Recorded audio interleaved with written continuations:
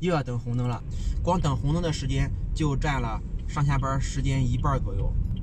而且这边也就是一公里的范围之内吧，就有三个红绿灯，大部分情况都是一个绿灯、两个绿灯根本过不去。所以每天光等红灯的时间就特别的长。今天的话题是等红绿灯的时候，大家是挂 D 档踩脚刹呢，还是挂空档拉手刹？我先说一下我的操作。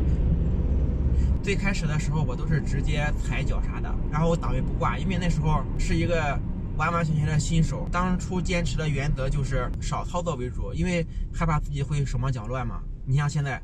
红灯停车了，就直接踩脚刹，然后档位还是在低档上不变，档位还是在 D 档上不变。但是这样也有一个坏处，如果红灯的时间特别长，要等好几个信号灯都过不去，这样脚一直踩着刹车，肯定会很累的。而且比如说我们需要去副驾驶拿个东西啊，或者是说转身到后排跟孩子说话呀。这样的时候，精力就有可能会被分散，这样右脚就容易松开。因为还是在 D 档，只要是右脚稍微一松开，车就会往前走，稍微一不注意，哪怕就一两秒钟的时间，就有可能会跟前车追尾。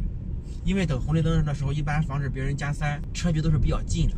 所以说后来等红绿灯的时候，我一般就是如果时间比较长，或者是我需要找东西，或者是需要转身到后排跟孩子说话呀什么的，我一般就会挂空档拉手刹，这样呢就会安全的多。